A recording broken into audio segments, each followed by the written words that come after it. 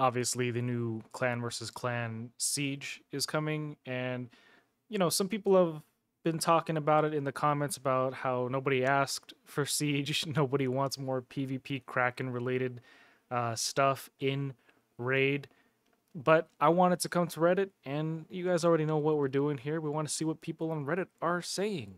So what is your impression about the new content in clan versus clan pvp right now 142 people have voted.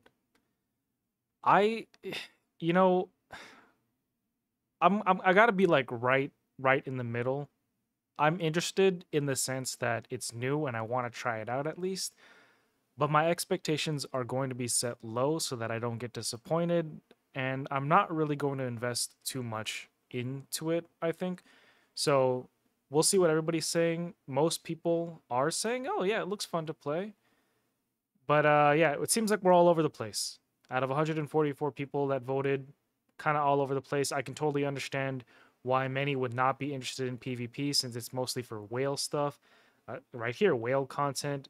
Time needed to play is a comment that I saw a lot on the YouTube video talking about the new update.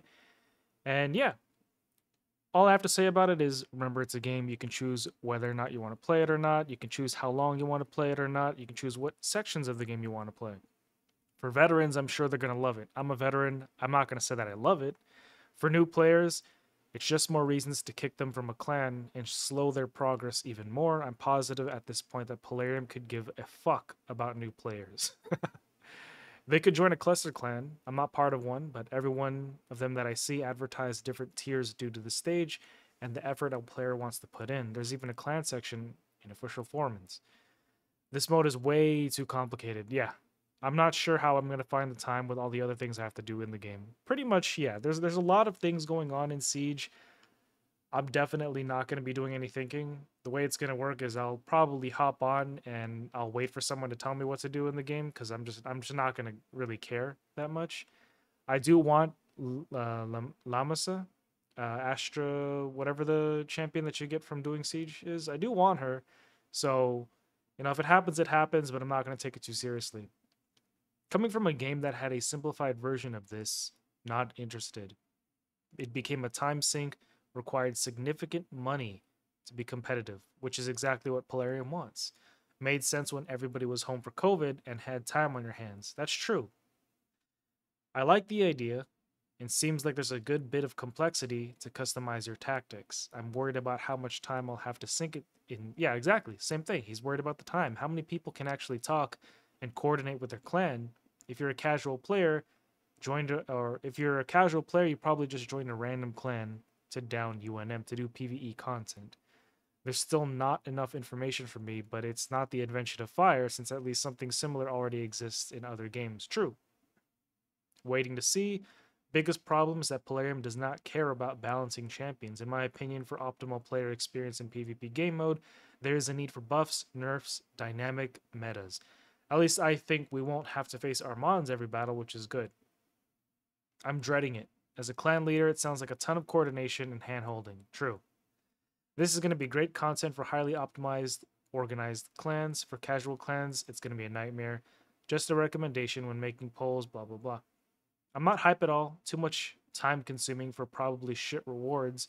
You'll end up selling or not having enough gear to equip for and it's a clan versus clan. I expect it to be combined with the worst of current live arena, CVC, Hydra Clash, all dipped into one single mode.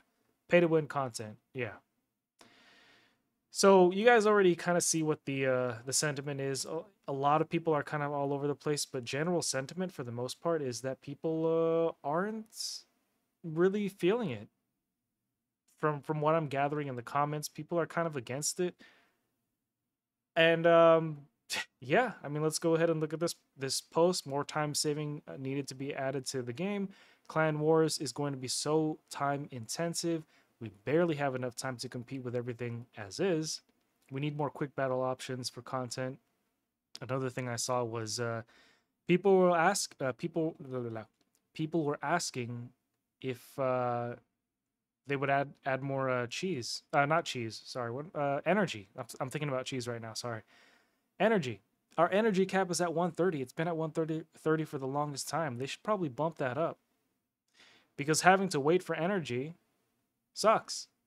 We need faster runs like three or four times speed. Exactly. We need a four times speed. To use all my keys and complete all my daily tasks takes a long time alone. Now with the content, it's even worse. True, but you could also just not play the new content. If you're in a clan that demands that you're that you need to uh, participate, join a different clan. I have a time saving tip for you free for you free. Quit your job, save at least 8 hours a day and now you can play Raid.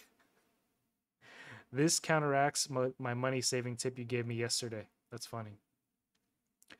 I would like to see them do something like have the number of keys needed just double the rewards. Every big content piece has a time saving quality of life come out sooner after, like quick battles came after Live Arena or Curse City. I don't recall. Expect them to do something about Hydra pretty soon. Yeah, I mean, it'd be cool if they did a quick battle for Hydra because each run takes like what, 45 minutes to 50, 50 minutes if you're doing full auto if you're sitting there manually to get the absolute best score that you can do, you're probably looking at uh, two, three hours. That's not including if you have to rerun, because I know a lot of guys that are hardcore Hydra players, and if they don't reach a certain million or a certain milestone by a certain turn, they just quit the entire run and restart. Or, you know, RNG happens, one of your character dies too early. Uh, yeah, so yeah.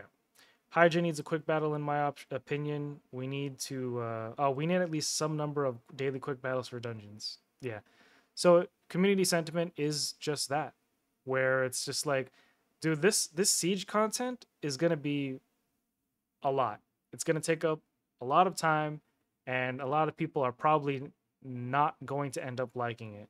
So, uh, and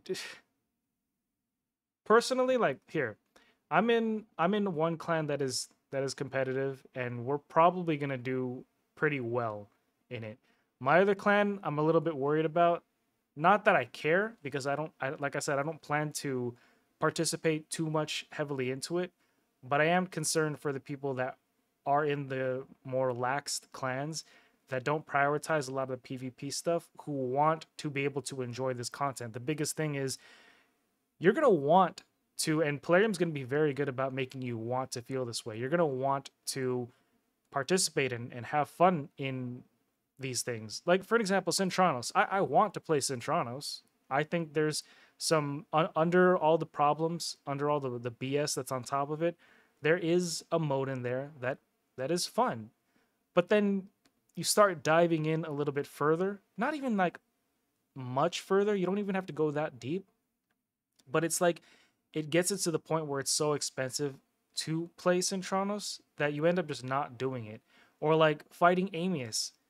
Like I know I can beat Amius if I sit there for six hours and try to work teams and rework things left and right to make to make it work. But I'm like, I'm not gonna do that. It's not worth it to me. So unless I can cheese Amius or find a really easy team to to beat down Amius, I'm just not gonna do Amius. Siege is gonna be the same thing you're gonna want to get um at whatever her her the, the the void lego champion that's gonna be super super cool that looks like a fun champion i obviously want to have fun and play with that champion so i'm gonna participate in in siege but i also know that it's gonna take a crap ton of time out of me and and i don't know if i want to do that i don't know if i'm, I'm ready to to to commit myself back into that and then again like siege is it looks somewhat fun. It's new at the very least. And maybe through my lens, that's just what it is. Maybe it's just something new. And I'm I've been dying for something new in Raid because it's all the same stuff. In fact, if you haven't even you probably noticed, like I don't really do much in Raid anymore. Like I have my, my champion guides that I still want to do every now and then, but it's just like there's nothing for me to, to, to showcase or make videos for in Raid that other people aren't already doing or haven't already done or that I haven't done myself. So I'm waiting for something new to show up so that I can sink my teeth into it because um you know at, at, this point i'm just here to enjoy sharing my thoughts and being in the community but i'm not really showing you guys too much in-game content so much anymore and it's like i could but at the same time like i have other channels that i want to dedicate my time to and if i'm kind of just going to be you know here on the side uh, showing anything that can be you could look up 10 other videos for like a champion guide for an example i don't really want to do that but yeah, so I'm kind of just doing what I what I want to do. And hopefully Raid comes out with something that's a lot more fun than what already is. Hopefully Siege is something that a lot of people can play because I already I already off the bat don't see this as something that a lot of people are going to be able to play. The cap or the minimum, sorry, the minimum level you need to be in in order to play Siege is level 45. So obviously brand spanking new players aren't going to be able to play it. On top of that, you need to be in a clan who is more than willing to be organized and optimized and w- willing to get everybody together to win this PvP CVC. And then if you want to go even further, you're probably going to need champions, right? So if your roster isn't looking too hot, more than likely you're probably going to have to set out a lot of this um this siege stuff